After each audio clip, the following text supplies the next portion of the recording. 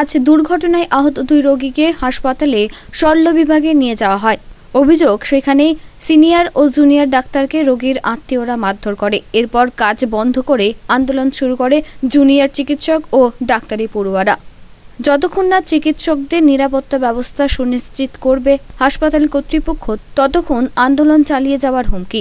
এই আমরা এখানে আজ অবস্থান বিক্ষোভে আছি তার একটাই কারণ কারণ আমরা আমরা doctor hospital twenty four into seven service দিয়ে যাচ্ছি আমাদের ফ্যামিলিকে ভুলে গিয়ে পেশেন্টদের স্বার্থের জন্য।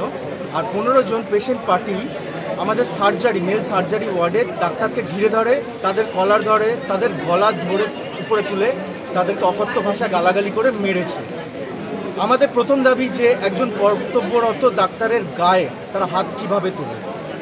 দ্বিতীয়ত, একটা হসপিটালে একটা কার্ডে দুটো পেশেন্ট পার্টি ঢুকতে পারে। সেখানে পনেরো জন পেশেন্ট পার্টি কীভাবে ঢুকলো, হসপিটালে সিকিউরিটি থাকতে। হসপিটালে একটা অন কল ইমিডিয়েট যিনি আসবেন, কর্তব্যরত কোনো পুলিশ কর্মী নেই, যিনি আমাদের নিরাপত্তা দিতে পারে। পুলিশ পোস্টম্যান কেউ নেই। তারপরে বক্তব্য আমাদের যে হসপিটালে এতগুলো গেট আছে এ গেটে একটা করে সিকিউরিটি থাকলেই সমস্ত সমস্যার সমাধান হয়ে যেত কিন্তু সেটা নেই।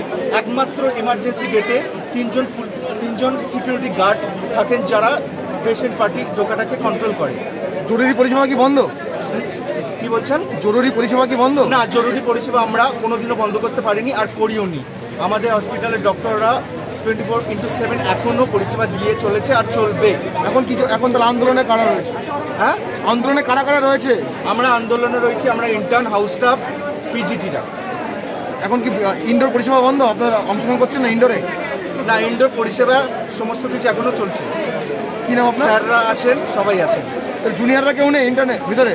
হ্যাঁ আছেন আমাদের ব্যাচের তরফ থেকে আমাদের সিনিয়র ব্যাচের তরফ থেকে সবাই ওখানে একজন একজন করে আছেন। যাদের ডিউটি আছে তারা এখানে নেই তারা সবাই উপরে ডিউটি করছেন আন্দোলন কতক্ষণ চলবে? এই আন্দোলন ততক্ষণ চলবে যতক্ষণ আমাদের এই সমস্যার সমাধান না হয়। আমাদের অ্যাডমিনিস্ট্রেশন এসে এই সমস্যার সমাধান যতক্ষণ না করবে ততক্ষণ আমরা এই আন্দোলন চালিয়ে যাব। যদিও আন্দোলনকারীদের দাবি চিকিৎসা ব্যবস্থা স্বাভাবিক রয়েছে।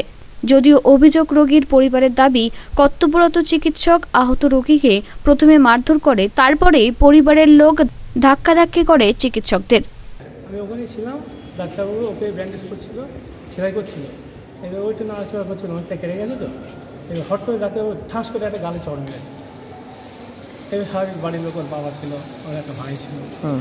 ওই অবস্থা এমনি মৃত্যু সজ্জায় ওই কেটে গেছে। আর ডাক্তার যদি এইভাবে এরকম চড় মারে এটা কি উচিত ডাক্তারের?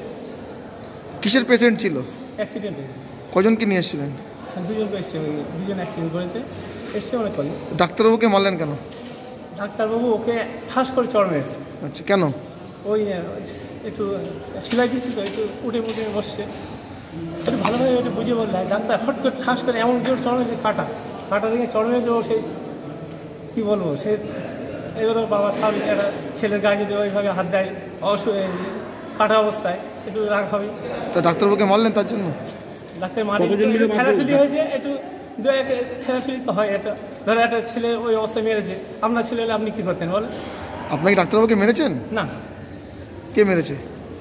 মারা বলতে ওই হাসপাতাল ওর বাবা। নদিয়া থেকে মাধব দেবনাথের রিপোর্ট আনন্দ বার্তা।